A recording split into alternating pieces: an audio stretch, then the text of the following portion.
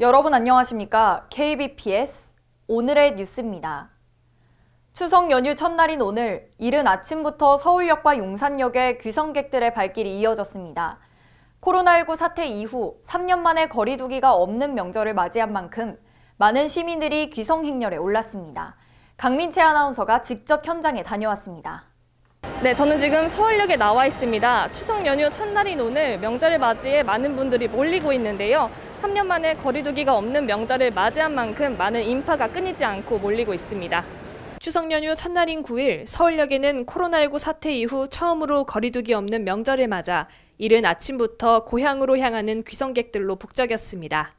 같은 시각 용산역 대기실과 승강장에서도 고향을 방문하기 위해 열차를 기다리는 많은 시민들의 모습을 발견할 수 있었습니다.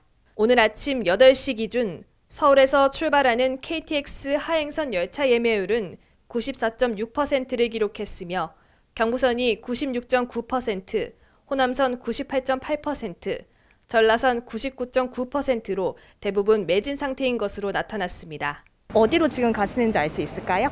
아 이제 코로나 끝나고 첫 연휴라서 네. 이제 부모님 뵈, 뵈러 이제 울산 가고 있어요. 음, 혹시 얼마 만에 뵀는지 알 수 있을까요?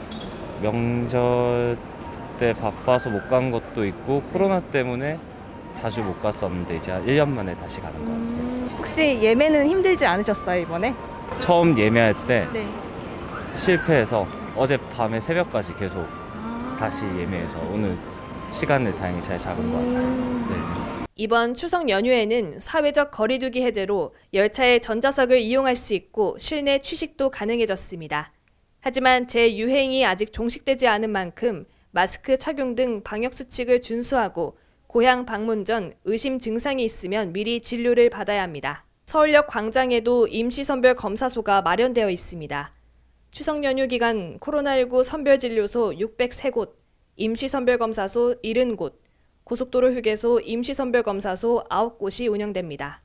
지금까지 서울역에서 KBPS 강민채였습니다.